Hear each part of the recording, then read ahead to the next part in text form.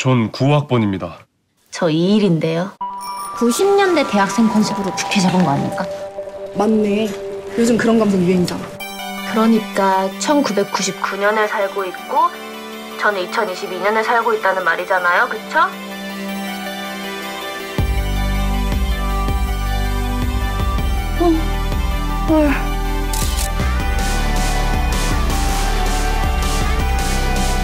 물어볼 것도 좀 있고요.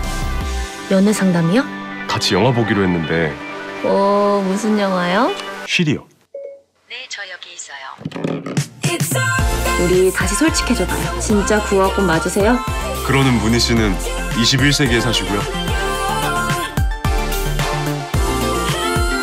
저랑 용희 씨는 일종의 타임머신을 타고 있는 거예요. 응답 바랍니다.